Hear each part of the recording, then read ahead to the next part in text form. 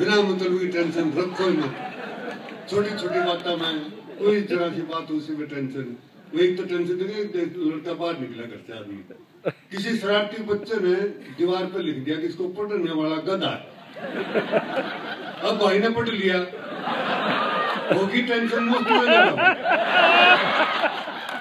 अच्छा नहीं लग गया रुमाल निकाला मिटाया, फिर चाक लिया, फिर इसके ऊपर लिखा कि इसको लिखने वाला गधा।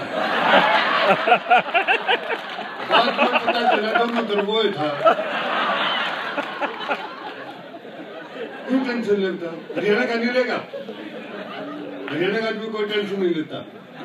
वो एक हरियाणा का भी कर रहा था। सामने लिखा होता गधा पेशाब कर रहा है। अगले ने पढ़ा, पढ़ के हंसा, कोई टेंशन नहीं। निकला देखा कर तो मैं रहा हूँ? नाम का लगा।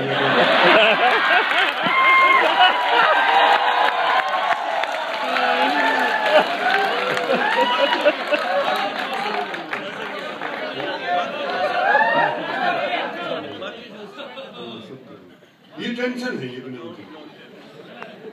सारी बिना मतलब की टेंशन आप मत रखो। धर्म की टेंशन, इसकी टेंशन धर्म की भी टेंशन पाल रखी है हमने बिना मतलब की। बस हमारे गाँव में एक विधवा थी, उसके पाँच लड़के थे, एक पूजा पाठी हो गया।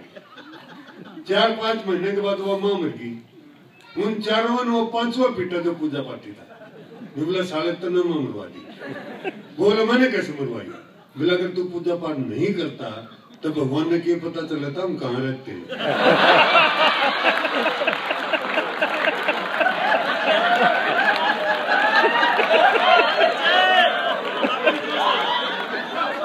बजा बजा ढोलक कर कर कीर्तन अपने फूफे ने एड्रेस दे दे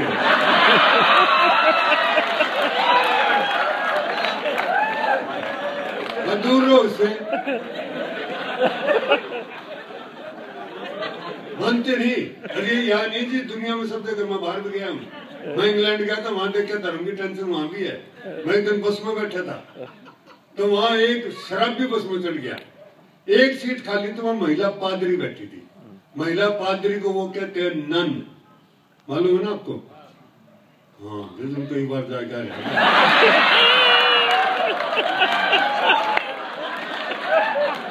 तो महिला पादरी को वो कहते हैं नन और प्रीस्ट को कहते हैं फादर।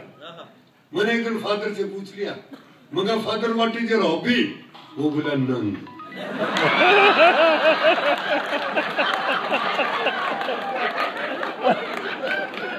तो जब वो फादर की हॉबी बैठी हुई थी उसके पास वो शराबी बैठ गया। बदबू आई तो उसने शिक्षा दे दी बोला जेंटलमैन आप नरक के रास्ते पर जा रहे हो। शराबी खड़ा हुआ खड़ा होते मैं बोला ड्राइवर बस रोको मैं गलत बस में चल गया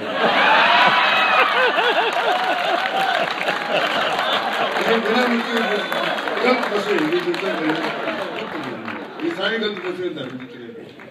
मैं एक ही बात कहा करता हूँ साहब आपका जो दैनिक जीवन है वो आपका सबसे बड़ा मंदिर और सबसे बड़ा धर्म।